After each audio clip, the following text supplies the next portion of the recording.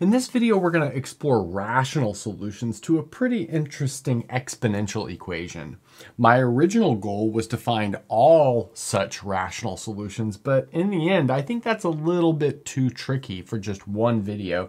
Maybe post in the comments if you see a way to find all such rational solutions. I'm not sure I know one just off the top of my head. So instead, we will find some rational solutions to the equation x to the y equals y to the x. Before we get started, I want to make some observations that will simplify the starting point. So let's notice x comma x. In other words, if y and x are the same, then that's clearly a solution. That's because we've got symmetry built into this equation. Furthermore, if x comma y is the solution, then so is y comma x. Again, that's because of the symmetry here. So that means we just might as well look at the case when y is bigger than x. And furthermore, we'll take both of them to be bigger than zero just to make it work a little bit nicer. I'll let you guys think about what might happen if we let them be negative. Okay, so let's get started. So let's suppose we have a solution. So we know x to the y is the same thing as y to the x with y bigger than x bigger than zero. So now let's take the log of both sides, which is a standard kind of trick to reduce an exponential equation to some other sort of equation. So taking the log of both sides, using logarithm rules, we'll have y natural log x equals x natural log y. Okay, now I'm going to use a little bit of a trick using the fact that y is bigger than x. That means that y can be rewritten as a times x, where a is bigger than 1. Again, what is a? Well, it's just going to be y over x, which is clearly bigger than 1 given this inequality. Okay, so now let's plug that into our equation. So let's maybe have a purple arrow and we'll underline this in purple so that those are linked. And we'll see that we have ax natural log of x equals x times the natural log of ax, like that. So now let's notice that some stuff pretty easily cancels. So we have this x will cancel with this x, so that's good. And then we can use logarithm rules to bring this a inside. So that's going to give us the natural log of x to the a equals the natural log of ax.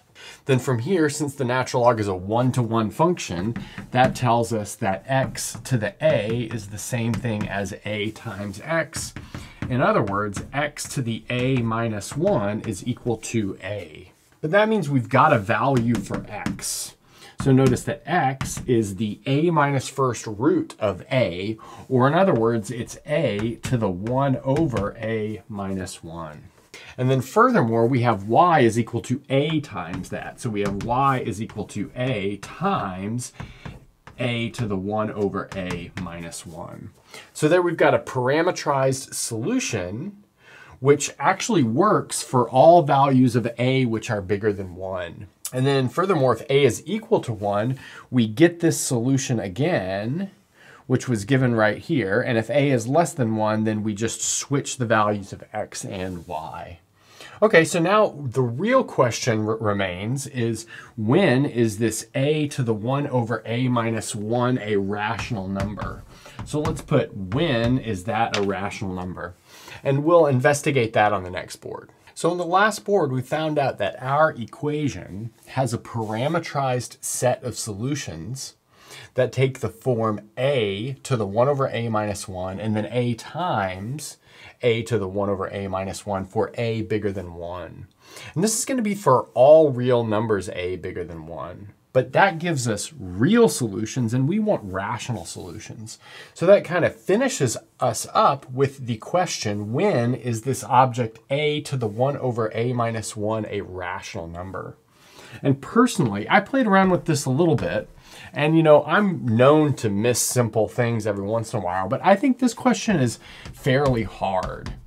I think maybe it's not super hard, to find some places, the obvious places where this is a rational number, but to prove that those are the only places, I think that's the hard part. So let's find the obvious places where this is a rational number. So this is obviously going to be a rational number when 1 over a minus 1 is a natural number. I'll just call it n. Well, notice if 1 over a minus 1 is a natural number, then a is clearly a rational number, which means we have a to the n, which is also a rational number. So now we just need to solve this for a in terms of n, and we'll have some sort of idea for the shape of some of these rational solutions. So let's see, maybe we could invert these. So we'll get a minus 1 equals 1 over n. But let's see, that means this, that a is equal to n plus 1 over n after giving ourselves a common denominator and stuff. So let's see, that means this solution set right here takes the following form. So we're going to have n plus 1 to the n over n to the n. That'll be this object after doing the substitutions that we've just built. And then we'll have n plus 1 to the n plus 1 over n to the n plus 1. That'll be this term. Now this is going to be for n in natural numbers. So let's look at a couple of cases of this and see what it looks like. So let's see, when n is equal to 1, what do we get? So we'll have 2 to the 1 over 1 to the 1, so that's just 2. Then we'll have 2 to the 2, that'll be 4.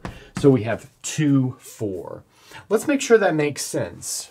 Well, notice 2 to the 4 is 16 and 4 to the 2 is 16. So we're good to go there. Now let's look at the next one. Maybe n equals 2 and see what we get.